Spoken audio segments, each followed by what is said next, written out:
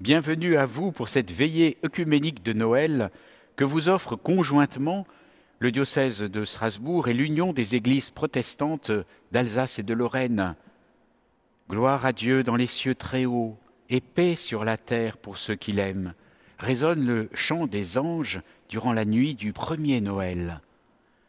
C'est avec ce chant qui évoque le lien entre le ciel et la terre que nous vous accueillons pour cette veillée, à laquelle nous avons précisément donné le titre Quand le ciel et la terre s'embrassent. Depuis des générations, les textes bibliques parlent aux humains d'eux-mêmes, de Dieu et du monde. Ils viennent résonner en nos cœurs, questionner nos convictions, nourrir notre foi, soutenir notre espérance, exhorter notre compassion. Nous vous invitons maintenant à faire place au cœur de votre fête, au récit de Noël. Ensemble, vous au loin derrière vos écrans, et nous ici en cette église du Temple Neuf à Strasbourg, nous nous rejoignons pour accueillir en parole, en silence, en musique, celui qui s'offre à nous à Noël.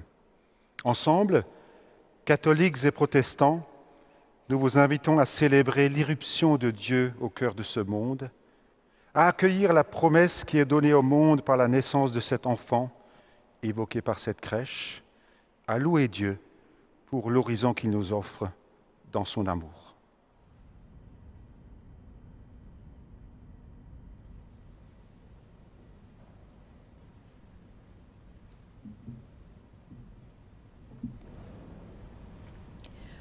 Or, en ce temps-là, parut un décret de César Auguste pour faire recenser le monde entier. Ce premier recensement eut lieu à l'époque où Quirinus était gouverneur de Syrie. Tous allaient se faire recenser, chacun dans sa propre ville. Joseph aussi monta de la ville de Nazareth en Galilée à la ville de David qui s'appelle Bethléem en Judée parce qu'il était de la famille et de la descendance de David, pour se faire recenser avec Marie, son épouse, qui était enceinte. Or, pendant qu'ils étaient là, le jour où elle devait accoucher, elle accoucha de son fils premier-né, l'emmaillota et le déposa dans une mangeoire parce qu'il n'y avait pas de place pour eux dans la salle d'hôtes.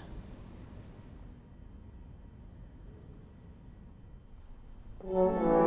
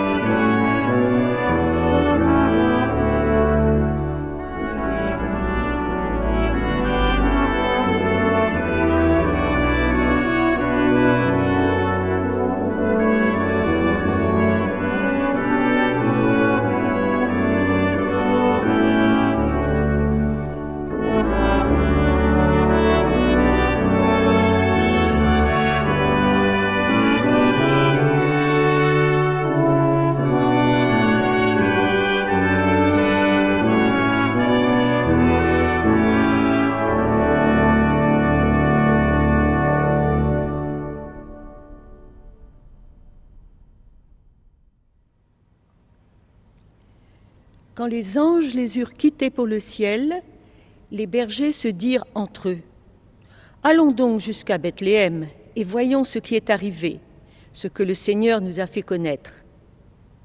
Ils y allèrent en hâte et trouvèrent Marie, Joseph et le nouveau-né couchés dans la mangeoire. Après avoir vu, ils firent connaître ce qui leur avait été dit au sujet de cet enfant. Et tous ceux qui les entendirent furent étonnés de ce que leur disaient les bergers. Quant à Marie, elle retenait tous ces événements en en cherchant le sens. Puis les bergers s'en retournèrent, chantant la gloire et les louanges de Dieu pour tout ce qu'ils avaient entendu et vu, en accord avec ce qui leur avait été annoncé.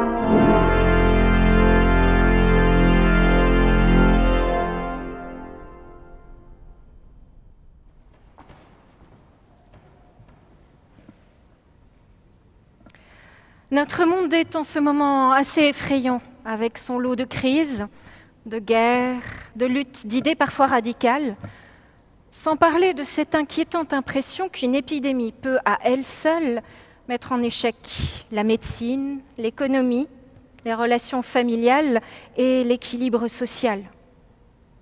La question revient chaque année un peu plus criante. Comment fêter Noël dans ces conditions? Quel sens cela a-t-il encore? Nous aimerions bien que Noël soit ce temps merveilleux où tout s'arrange, où n'existe plus que le beau et le bon dans nos vies. La publicité, les téléfilms, les illuminations de nos villes cultivent cette magie de Noël. Et nos actions solidaires, le téléthon, la collecte de la banque alimentaire, les concerts des enfoirés, créent pour quelques semaines au moins un monde plus généreux, plus juste autour de nous. Et pourtant, les récits de la naissance de Jésus ne parlent pas de magie, pas d'une illusion passagère qui viendrait masquer la réalité pour la rendre plus belle. Ils parlent d'une sorte de trait d'union, d'un lien qui fait tenir ensemble la réalité crue et ce qui peut naître quand un esprit nouveau envahit le monde. Regardez la crèche. La nôtre, pour l'instant, est bien vide, habitée seulement par un tout petit, déposé dans un peu de paille. Mais pour que la crèche soit une vraie crèche de Noël, il nous faut aussi un ange, au moins un, et une étoile plus brillante que toutes les autres. Pour un tel événement, le ciel se doit d'être au rendez-vous. Mais il nous faut aussi un âne et un bœuf. Oui. À Noël, le céleste et le terrestre s'entremêlent. Tout ça parce que Dieu ne peut s'empêcher de s'intéresser au monde qu'il a créé et aux vivants qu'il habite. Et qu'à Noël, il a décidé de passer la vitesse supérieure, au point de devenir l'un d'eux. Ce qui brille ne s'oppose plus aux êtres et aux choses les plus simples et banales du quotidien. Les uns et les autres deviennent des alliés au service de la vie. Pour ouvrir nos yeux humains sur l'espérance, il faut que nous prêtions attention à la fois à ce qui échappe à la maîtrise de l'homme, ce qui le dépasse, et à ce que l'humanité a pu comprendre et domestiquer au long de son histoire. Quand le ciel se mêle à la terre, une naissance est la plus grande merveille qui soit et le plus phénoménal levier pour ouvrir l'avenir en tout grand.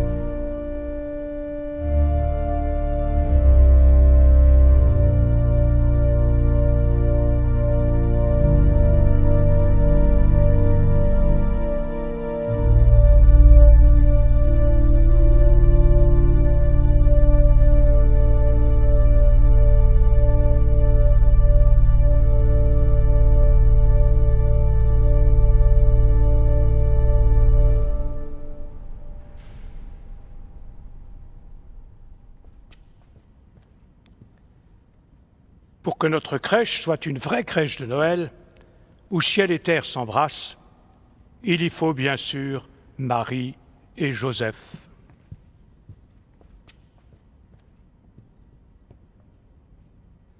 Marie et Joseph étaient promis l'un à l'autre. Mais voilà que le ciel s'en est mêlé. Et cela aurait pu, ou même dû, les séparer. Joseph était devant un mystère. Marie, qui lui avait été accordée en mariage, avant qu'ils aient habité ensemble, était enceinte par l'action de l'Esprit Saint. Rêvait-il? Il n'en dit rien à personne. Il garda cela pour lui. Tout ce qu'il aurait pu dire aurait été si loin de la vérité. Il faut quelquefois faire silence, attendre pour mieux comprendre et se laisser éclairer. Les faits parleront d'eux-mêmes. Une décision s'imposait à lui répudier Marie en secret. Mais dans son sommeil, l'ange du Seigneur lui apparut en songe. Non, cette fois-ci, il ne rêvait pas. Voilà que lui est dévoilé l'inimaginable, l'inouï, le mystère du salut de Dieu. Joseph, fils de David, ne crains pas de prendre chez toi Marie ton épouse, puisque l'enfant qui est engendré en elle vient de l'Esprit Saint. Elle enfantera un fils et tu lui donneras le nom de Jésus, c'est-à-dire le Seigneur sauve, car c'est lui qui sauvera son peuple de ses péchés. Joseph a-t-il tout compris de ce qui lui était révélé là? Peut-être pas. Mais il écoute ce qui lui est dit. Ce qu'il vit comme une épreuve trouve certainement là du sens. Il accepte d'entendre cette parole du Seigneur et y trouve un signe d'espérance dans cette situation difficile pour Marie et pour lui. Ce qui se passe le dépasse, mais en attendant, Joseph fait confiance. Le mystère de Dieu, l'inouï de la promesse du salut, va se manifester là, au cœur d'une vie d'un couple. On peut même dire qu'il en a besoin d'un homme et d'une femme comme tout le monde, qui ne mettent pas d'obstacle à l'œuvre en eux de l'esprit. Marie y a acquiescé avec son fiat, que tout se passe selon, pour moi selon ta parole. Joseph, c'est par ses actes qu'il s'exprime. Quand Joseph se réveilla, il fit ce que l'ange du Seigneur lui avait prescrit. Il prit chez lui son épouse. Et les voilà, ensemble à Bethléem. Le temps où Marie devait enfanter est accompli. Elle mit au monde son fils premier-né. Elle l'emmaillota et le coucha dans une mangeoire. Une vraie crèche qui a donné son nom à notre crèche.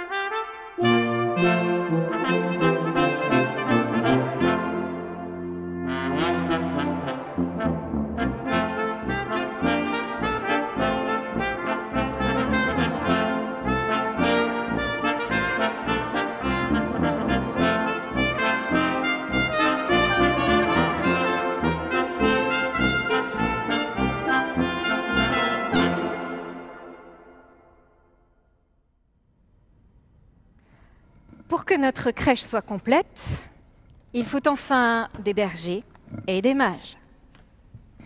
Ça n'a l'air de rien, mais tout le pari de Dieu est résumé là.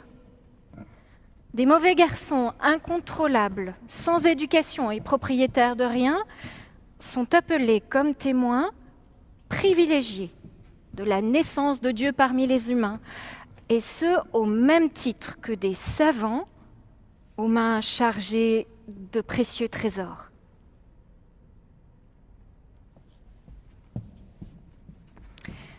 Dans cette étable, pas de préséance, pas de protocole ou de titre de noblesse qui vaille. Il fallait que ces deux groupes se croisent là. Il le fallait pour témoigner ensemble que malgré tout ce que les hommes s'autoriseront à inventer un jour, ce n'est pas la condition sociale qui décide de la dignité d'un humain, mais bel et bien le regard d'amour qu'on veut bien porter sur lui. C'est reconnaître que s'il n'était pas là, il manquerait une part importante à l'humanité. À Noël, paria bien d'ici et savant tout ce qu'il y a de plus étranger ont accepté de faire un bout de chemin pour accueillir ensemble dans ce monde un petit roi pourtant né dans une étable. Dans le même mouvement, le petit roi devenu adulte veillera à les rejoindre les uns et les autres sur leur chemin pour leur porter cet amour qui rend possible de vivre et de déplacer des montagnes.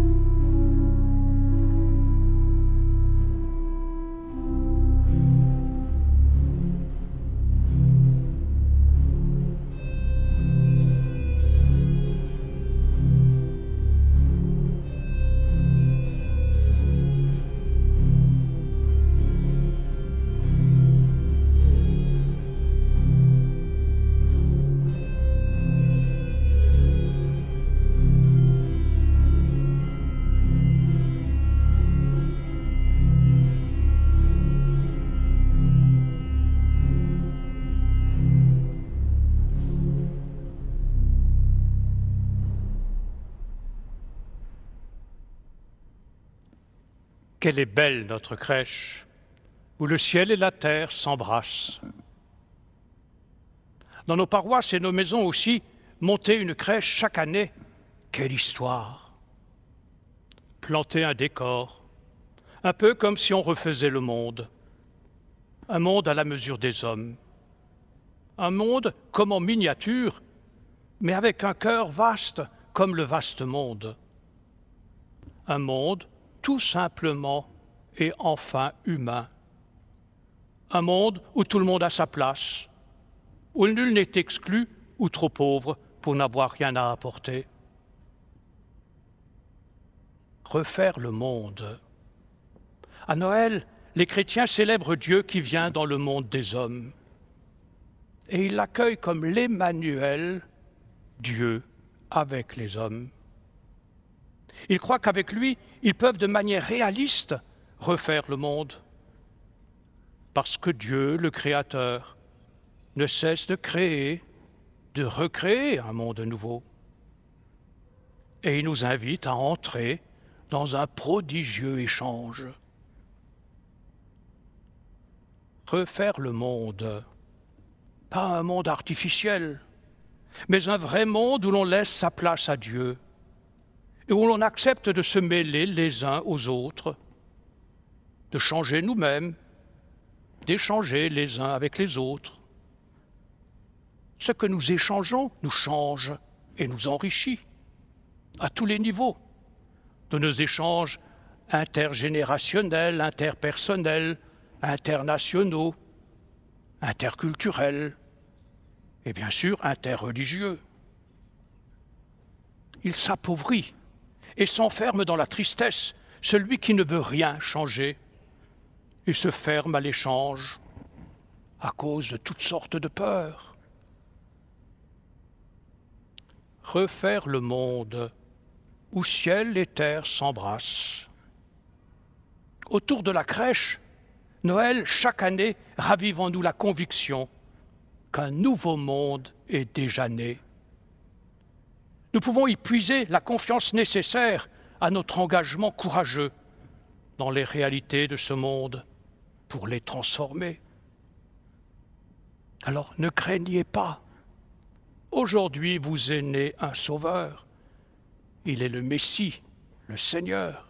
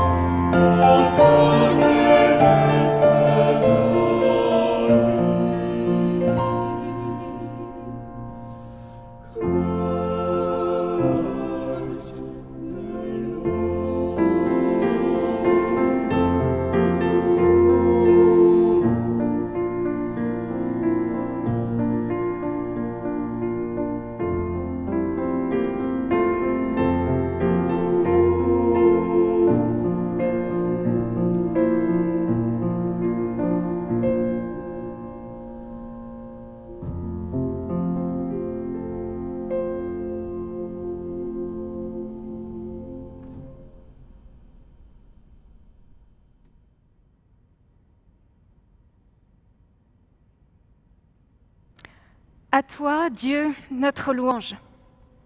Nous t'acclamons, tu es Seigneur.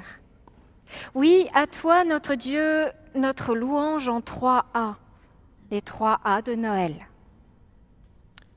A comme adoration. Nous t'adorons. C'est bien le premier réflexe que suscite en nous l'annonce qu'un Sauveur nous est né. Mon Dieu, Noël. Adoration, admiration, accueil de la nouveauté, acceptation extraordinaire de l'annonce de Noël. Dieu se fait homme. Le miracle de la vie ne doit rien au hasard. Nous sommes aimés. Voilà ce que fait l'amour insensible du Seigneur de l'univers. Avec les anges, nous chantons le plus ancien et authentique cantique de Noël, Gloire à Dieu au plus haut des cieux et paix sur la terre aux hommes qu'il aime. A comme action de grâce. Nous te rendons grâce. Tout ce qui nous fait vivre, nous l'avons reçu de toi. Que faire en effet devant la découverte d'un tel cadeau? Essayer de rendre l'appareil? Nous ne pouvons que rendre grâce sur grâce. Noël nous entraîne dans un prodigieux échange. Nous devenons semblables à ton Fils, en qui notre nature est unie à la tienne. Nous sommes élevés au rang d'enfants de Dieu. À toi, Seigneur, notre reconnaissance. A comme amour. Nous t'aimons et nous voulons nous aimer les uns les autres comme tu nous aimes aimer. Cela nous paraît si naturel et même facile. Mais nous expérimentons aussi que ce n'est pas si facile, parfois franchement difficile, quelquefois même impossible, le plus souvent subtilement complexe. Noël nous remet devant ce beau défi, un défi à notre mesure d'enfants, de femmes ou d'hommes aimer puisque nous sommes aimés. Ainsi, Noël nous tourne vers l'avenir. Oui, Dieu, nous te louons. Père infiniment saint, Fils éternel et bien-aimé, Esprit de puissance et de paix. Amen. Amen.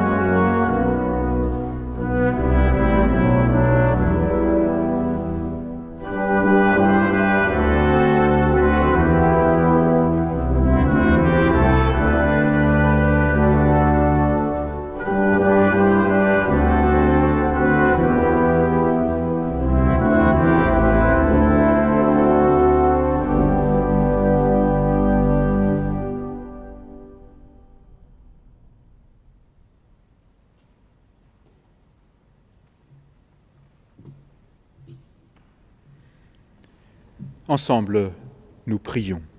Seigneur, toi qui es notre Dieu et notre Père, en Jésus le Christ, tu es venu habiter notre terre. À Noël, la vie de Jésus devient pour nous comme un fil rouge pour l'existence. Nous avons entendu que tu as été accueilli par Joseph, que Marie a porté dans son cœur sa famille composée d'humains et d'anges. En particulier en cette fête de Noël, nous te prions pour les familles, qu'elles soient des espaces de parole et de vie, des refuges où chacun se découvre aimé sans condition.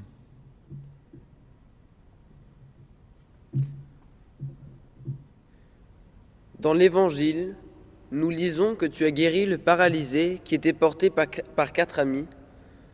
Nous te prions pour ceux qui, qui sont malades et alités, ceux qui ont peur de l'avenir, dont l'espérance est blessée. Tu as touché le lépreux qui criait son exclusion. Nous te prions pour ceux qui se sentent abandonnés, qui ont le sentiment qu'il n'y a pas de place pour eux dans notre société. Tu es allé à la rencontre de Marthe et de Marie dans leur deuil. Nous te prions pour ceux qui ont perdu un être aimé, qui se battent contre le vertige du silence et de l'absence. Tu as parlé à la veuve de Nain, qui avait perdu son fils unique. Nous te prions pour ceux qui sont seuls, qui n'ont personne avec qui partager leur joie, leur peine, leur rire et leurs questions.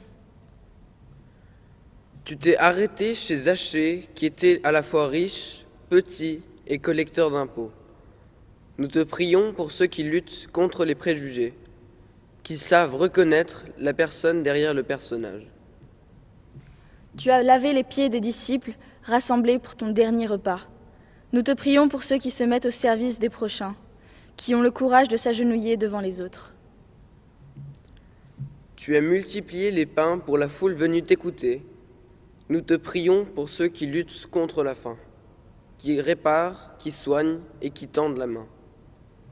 Tu as pardonné aux soldats qui te crucifiaient. Nous te prions pour ceux qui œuvrent pour la réconciliation, qui lancent des passerelles et qui osent le pardon.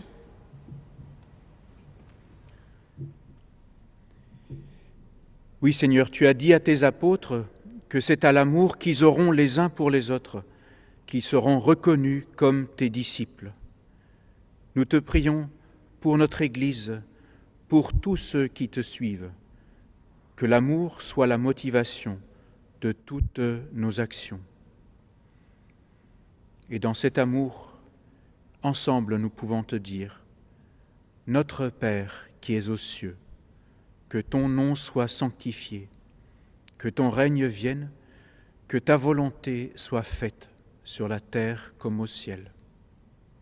Donne-nous aujourd'hui notre pain de ce jour. Pardonne-nous nos offenses comme nous pardonnons aussi à ceux qui nous ont offensés. Et ne nous laisse pas entrer en tentation, mais délivre-nous du mal, car c'est à toi qu'appartiennent le règne, la puissance et la gloire pour les siècles des siècles. Amen.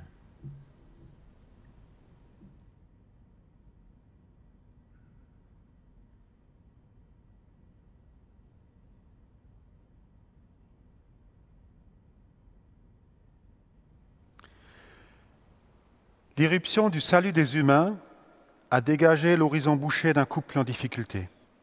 La promesse donnée par la naissance d'un enfant a suscité d'improbables rencontres, réunissant des locaux et des étrangers, des, savants et des gens simples. Que le ciel et la terre qui s'embrassent nous mettent en route vers celles et ceux qui sont confiés à notre compassion et que Dieu nous donne de trouver dans notre quotidien les signes d'une espérance en marche et d'une promesse en devenir. Que le Dieu de toute espérance, qui dépasse tout ce que l'humain peut croire et comprendre, comble nos cœurs et nos pensées de sa joie et de sa paix, que comblé par sa lumière et débordant d'espérance, il nous donne de partager la joie et la paix de Noël, Dieu vous bénit et vous garde. Il est Père, Fils et Saint-Esprit. Amen.